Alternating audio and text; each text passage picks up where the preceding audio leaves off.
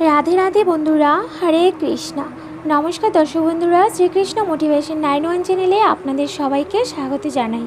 বন্ধুরা, আমরা প্রত্যেকেই বিভিন্ন দেবদেবীর পূজা অর্চনা করে থাকি। আমরা প্রত্যেকেই কোনো না কোনো দেব বা দেবীকে পূজা আরাধনা করে থাকি। বিশেষ করে আমাদের মধ্যে অনেকে আছেন শিব ভক্ত, কেউ বা আছেন কৃষ্ণ ভক্ত।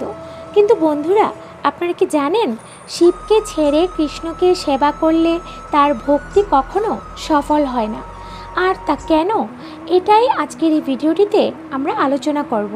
তবে ভিডিওটি শুরু করার আগে আপনারা যারা আমার চ্যানেলে নতুন, তারা অবশ্যই আমার চ্যানেলটিকে সাবস্ক্রাইব করে আমার পাশে থাকবেন। এরকম আরও ভিডিও পেতে। খুব মন দিয়ে শুনবেন।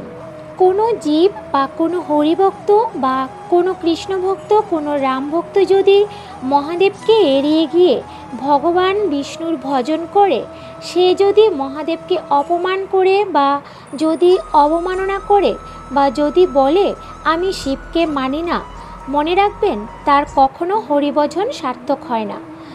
তার কৃষ্ণভজন কখনো সার্থক হয় না। কেন? মহাদেব কে মহাদেব হলেন পরম বৈষ্ণব। বৈষ্ণব আরামী যথা শম্ভু মহাদেবের থেকে বড় বৈষ্ণব কিন্তু আর কেউ নেই। দ্বাদশ ভাগবতের মধ্যে একজন হলেন মহাদেব। খুব মন দিয়ে শুনবেন। ভগবত পরম বৈষ্ণবদের মধ্যে, পরম ভক্তদের মধ্যে, পরম ভগবতের মধ্যে একজন হলেন দেবাদিদেব মহাদেব। তার জন্য যদি হরিভজন করতে হয়, তাহলে হরেরও ভজন করিতে হইবে। হরকৃপা ছাড়া হরিকৃপা সম্ভব নয়।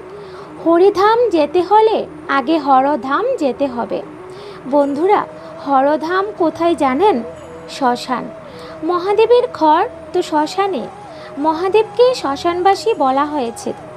তাই হরিধামে যেতে হলে হরধাম যেতেই হবে। হরধাম না গিয়ে কেউ হরিধাম যেতে পারবেন না। কেউ যদি কোনো গৃহস্থ ঘরের মধ্যে শিব পূজা করতে চায় বা মহাদেবের পূজা করতে চায়, তাহলে সে করতে পারে।